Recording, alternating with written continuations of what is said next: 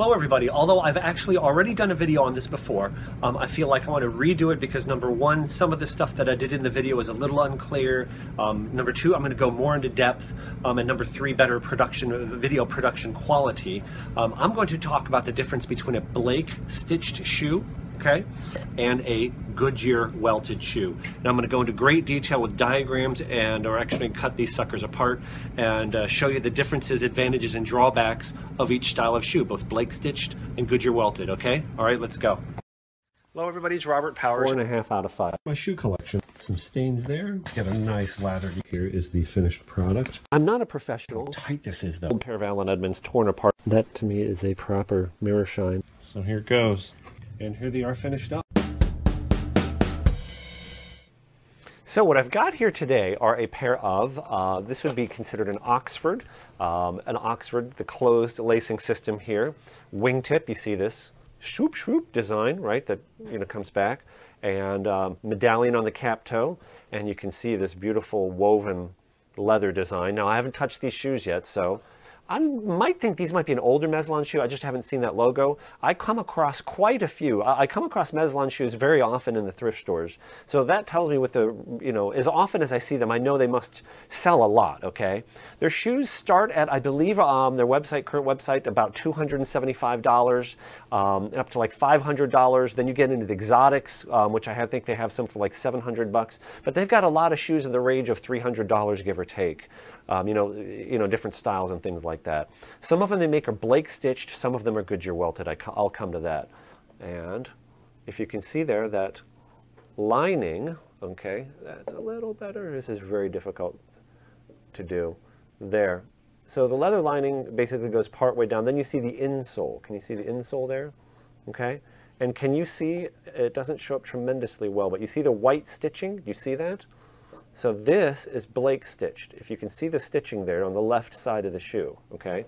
What you're actually seeing is these stitches. So the outsole is stitched basically directly to the insole and the shoe upper.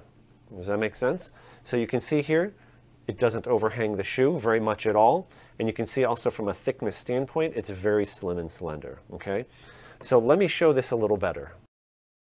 So what you're seeing here is the Blake stitched a little diagram. Now you can see the shoe upper, uh, you can see the insole, that's the part that your foot actually touches, and then you see the leather outsole. Now what you're basically seeing is that the stitch goes straight through from the channel, okay, on the outsole, straight through to the insole, capturing the upper, and it's just all stitched in one process. Um, and basically, here's a couple of the challenges with it.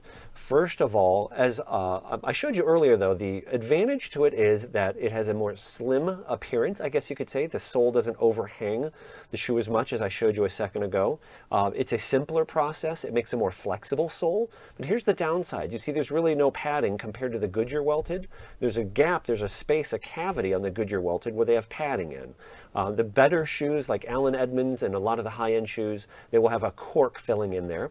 It doesn't always have to be cork. It can be a you know artificial material. So what that padding does is it creates insulation. Okay, because you will see a, a, a, shoe without that insulation in there. If you live somewhere where the, uh, there's a lot of wet and then winter weather with snow, when the outsole is leather, it will soak up water and then you can feel the cold go right through into your foot. Okay. Um, so the padding provides not just comfort, okay, but it also provides insulation from the cold. And what you'll see is with a Blake stitch, stitched shoes, if you're walking on rough surfaces, you know, you can feel the bumps and things up uh, uh, through the shoe more. So it's just not as rugged of a construction. Um, and also, it's my understanding is it's more difficult to resole, okay? Um, I can't tell you whether a cobbler can or can't do it, but I do know it takes a different machine than to resole the Goodyear welted, okay? One other cha uh, challenge, you see the stitch is going from the outsole through the insole, so you do have a hole there that can wick water uh, through the shoe into the shoe interior, okay? Now let's look at Goodyear welted. So with Goodyear welted, you see in green there, I have the welt. Uh, and the welt, and, and, this is the part here, part of the reason I'm doing this is I feel like I didn't explain this part very well in previous videos, okay? I have another video called Goodyear welted shown, the production quality is not as good, and this part's not as accurate, okay? So the welt stitch, the green, uh, in this case, welt, is stitched through the leather upper. You can see here, I, I, showed a lining. Of course, a Blake stitched shoe would have a lining too. I just didn't show it. The shoe upper, the shoe lining is captured. And those also, do you see that gray piece? I'll show you what that gray piece is. It's another piece of fabric. And then you can see the insole. That gray piece of fabric uh, is basically, looks like a canvas material to me on the couple shoes I'm going to show you is glued to the insole and it just to me I think it's just an additional piece of strength and I think it also uh, um, you know basically helps hold the insole uh, it just helps capture the insole to the upper um, and to the welt. So that's one stitch there. And then you can see that creates a void. And that void is filled, it can be filled with different materials, but traditionally cork and I'm going to show you how the cork compresses and where there is more body weight, it will compress down more. So the shoes, uh, sometimes people don't believe me, but ask anybody who owns a pair of shoes with cork in them like Allen Edmonds. Over time, they will conform to your foot. If you go, you know, go pick up any pair of Allen Edmonds in the thrift store um, that has, you know, wear on them, you can feel the bone uh, um, you know, indentations of the bone structure of the previous owner's foot. So that's why you don't want to, you know, uh, um, in my opinion, buy um, shoes like that that are too heavily imprinted. So the welt, then you see the outsole is stitched to the welt. So that stitch can be broken and the outsole can be removed and changed more easily.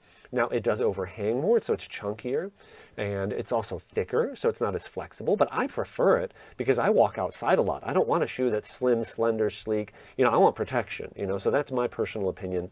Um, the Blake Stitch you'll see more in the European style slim, slender shoe, um, and the Goodyear Welted goes more with the English, US, uh, uh, more traditional British style of shoe. Okay, so what I have here is I have two pairs of shoes. I have a pair of, uh, this is a pair of Allen Edmonds Arlingtons, and here's a pair of Florsheim Imperials. Um, and by the way, don't be too upset about these pair. The Florsheim Imperials, by the way, you know, they're cracked. The leather uppers are cracked too bad to, you know, be worth anything. And the uh, um, Allen Edmonds here, it, it, this kilt is like the size of Texas. I mean, it's just, to me, it's just the ugliest, you know, thing in the world. It just, and I don't think I'm doing any, you know, harm by cutting them up. I got them from a thrift store. And I know other, by the way, other people like Antonio Centeno recently did a shoe where he cut up a shoe. I don't want to look like a copycat, but I think this is a good way to show, um, you know, the interior structure. Uh, by the way, I've already shown this, my Goodyear Welted Shown uh, video. Um, I did that, I released that in July of 2017, so I don't want you to think I'm a complete copycat. So now, first of all, um, let me just start here with the cross section, okay? So this is a Goodyear welted shoe. I've already removed the heel, you can see. So just like in my picture, right? You can see here, this is the, this is the outsole, right? Here you can see the cork layer, right? You can also see it a little more clearly on the toe. This is, this is the opposite side. Okay, do you see the cork layer? Can you see how it is more compressed here? Because this area here would be about the area of the, um, probably the area of the ball of the foot or the big toe, probably the big toe, okay? And then this is the insole. Now here's a part that some people miss. Higher quality shoes, look at the thickness of that. This is a full leather insole, okay? It's not always gonna necessarily be leather, right? That's gonna add another layer of conforming material to your, okay, that the material that conforms to your foot. Now here you can see the shoe upper and you can see the inner lining of the shoe. And there's something in here, I think this is called the toe puff. I think this is part of what keeps the, you know, the, the, the shape of the toe is what that does. But you can see these three layers come down. You see this is the shoe upper coming down there. See, so just like I drew it, and I'm trying to keep this in focus, it does come down, okay? And then you see this white woven cloth layer there. Okay, let me show you that. I'm to go to this pair, or this shoe here. You see the cork? Some of the cork, obviously, when I tore it apart, stayed on the outsole, okay? And then you can see here, I honestly don't know what this strip is, and I'm sure somebody will correct me. But you see this strip, so this strip is glued very heartily to the insole, and then it folds up. Now, you see this black line right there, okay? This is the stitch. I'm not sure if I can pull it out. This is the stitch that actually holds the welt to the upper. Okay, can you see it there? Trying to pull it out, and I don't know if I can, it'd be great if I could do that on camera. There we go. It's kind of coming out. I'm kind of tearing the thread apart as we do that, but I think you get the idea. There's more of it up here. Do you see the stitch? Right? Loop, loop, okay? And there is also, I really don't know what this is, but there's like a metal staple there. And I'm sure they're using that to probably hold the upper onto the shoe. um, you know, before uh the welt is stitched because they have to wrap the leather upper. But can you see that? See how strong? Whoa, I think I just popped the staple. But there you can see I've kind of grabbed uh, the, the stitch, okay? And like I said, this stitch kind of goes through at an angle, like it's kind of uh, um, like looped. And this is the stitch that holds the welt on here. You can see it right here. You see this piece of string right here? Okay. This piece of string goes through to there. You see all the layers? Right? So in other words, that stitches goes through curved. I have no idea how the heck they do that, okay? So this that I'm pulling on right now, you can see what I'm pulling on? I grabbed a loop there. That's what holds the welt to the upper, okay, and to this cloth strip here, right? And then you can see the white, okay, this is the thread that actually holds the uh, stitches the upper. I'm sorry, this is the, this thread that stitches uh, the welt to the outsole. You see that there? Okay. And can you see how it's, I don't know if you can tell, but it's actually, when it's all done, it's two pieces of string looped around each other. Okay? Pretty cool, right? So now, like I was saying, you have this void, okay, to make it level, right? They use different materials. There's cork in them. Now this particular shoe, can you see this indent? This particular shoe had like a cardboard, stiff cardboard shank. I'll show you a shank. Florsheim Imperials, by the way, they don't make this level of shoe anymore, but like 90s, especially the 60s, 70s, 80s, um, you know, and into the early 90s, you know, the made in USA Florsheim Imperials, um, they were a really amazing shoe, like on par with Allen Edmonds, okay, uh, a level of shoe. Now this is a long wing. See the wing tip goes all the way back. So this is a long wing blucher. This separate piece of leather, the eye stay, makes it a blucher. You can also call it a derby. But this is what's called a double oak sole. Okay, so here's one that I didn't tear apart. Uh, the heel is gone, but you see the, the thickness. Can you tell it's two layers of leather? So that's what you have here. I forgot to show you. Here is the outsole. And by the way, this sole has been replaced. I can tell this for a couple reasons. Uh, number one, the Florsheim uh, soles always say in a beautiful script, this era we'll say uh, Florsheim, you know, on the sole in a really beautiful script. And then here's something. Oh, they also have, I think it's on the instep, um, well, you can see here, one, two, three, four, five. They call them five nail. So I don't know why, but in that area they have five nails. Well, you can see where the nails were, and then obviously when they resoled them, they didn't put them back on, okay? Um, but you can see this has two layers. I, I, I think this would be called a midsole, um, you know, but uh, basically what they do is they double up and it's called a double oak sole. Okay, I don't know if they always use two layers like Alden, Allen Edmonds. I don't know if they also would use two layers or one thick piece. I don't know. But here you can very clearly see, I didn't even tear it all the way off. You see that cork material? And look at that. There is a wooden, this is a wooden shank. Okay, and it looks like it's stapled in okay, to hold it in during manufacturing, and then it's corked around it. You see that? So again, insulation, um, and then this also conforms to the shape of your foot, okay? Now do you see how you could peel this off? You could replace the sole, right? Like as I told you, you know, this has already been done. I think when they replace the sole, I'm not sure, some cobblers probably would pull the midsole off and replace the cork, some wouldn't. It just depends on, you know, what level, uh, you know, uh, of service you're gonna get, okay? And then they'd have to put the heel back on, right? The, uh, this particular shoe had a thick rubber heel, whereas the Allen Edmonds um, has a leather heel base. You see how it was nailed on? It's nailed up, right? It goes this way. This would be the outside, nailed up through. I don't know if you can tell, but there is a rubber layer on the top of it, okay? This is a rubber layer on top of leather, and then the part that touches the ground goes on here. This layer of rubber, which you would never see, basically means you're not gluing the uh, top lift, you're not gluing the top lift to the leather, you're gluing it to this rubber piece. So it can be changed multiple times because when you peel leather off of rubber, you peel off some of the leather. So little things that you never noticed. So pretty interesting, right? And again, let me go back to the uh, Allen Edmonds here. And you can see the, uh, you can see it very clearly here. I just cut the thread in half. I got lucky there. So you can see the outsole stitched to the welt. You can see the welt here okay? And then I think over here you can actually, uh, not really, maybe it was over here. Yeah, here. Here I hit the thread. Do you see that thread? So this thread goes through there, and that is the stitch that holds the welt to the upper lining, and again, this cloth piece, which I don't know what it's called, okay? So it's not actually stitched to the insole, stitched to the upper, uh, but the uppers, I've tried to pull the, I'm sorry, insole. So the, the stitching is not stitched through the insole. I've tried to pull insoles out of Allen shoes. I can't do it. You know, the glue that they use in, in here is just so strong. Um, but I'm not saying it can't be done, but I wasn't able to, so. I hope that helps.